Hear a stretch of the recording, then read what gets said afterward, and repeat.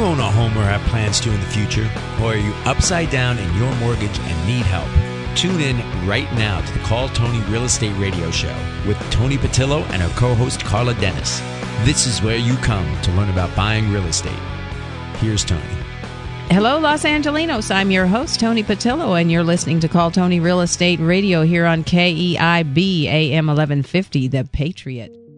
Well, let's get into Toni's word. Toni, what do you have for us this week? Well, I'll tell you, this week we're going to talk about Proposition 60 and 90. Most of you are familiar with Proposition 13, but just in case you're not familiar with it, Proposition 13 was officially named the People's Initiative to limit property taxation.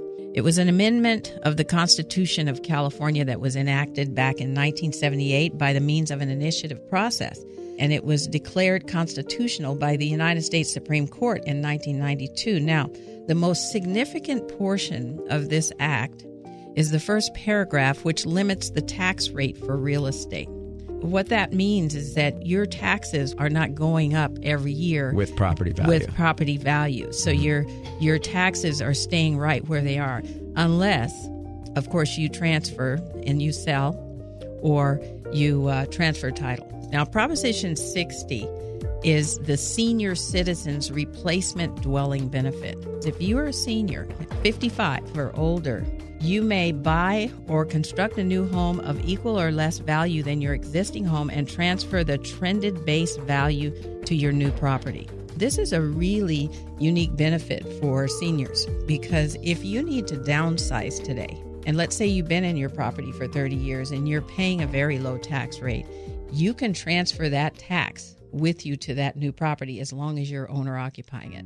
This is a one time benefit only, and you must buy or complete the construction of your replacement home within two years of the sale of the original property.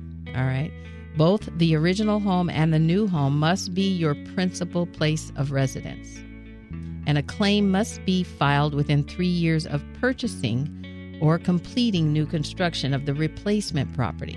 This is a really, really cool benefit. Absolutely. And being that we've got a huge number of the population are, are seniors today, this really might be something for one to consider. You know, there's a lot of people who are in huge homes today because of their aging process they are needing to downsize. That's true too. Or they need to get out of a uh, two-story facility and they need to get into uh, one story, and mm-hmm. they need to maybe downsize and make it make it a smaller home. There's a lot of people who have had a fear of downsizing because they don't want to deal with that tax base because today's property value that those those rates are going to be on today's property values. Uh, as you all know, we're launching our senior transition concierge. I'm really excited about it. That this, sounds amazing. Yeah, we're going to be offering uh, baby boomers and seniors an environment where we have a very, very vetted, trusted network of professionals that will be available to support you on every aspect of transition that you can imagine.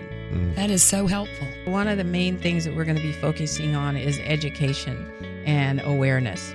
Okay, so we will be conducting, for the lack of a better term, town hall meetings or seminars or workshops where we will have panels of specialists who will be able to address all kinds of questions, all kinds of scenarios.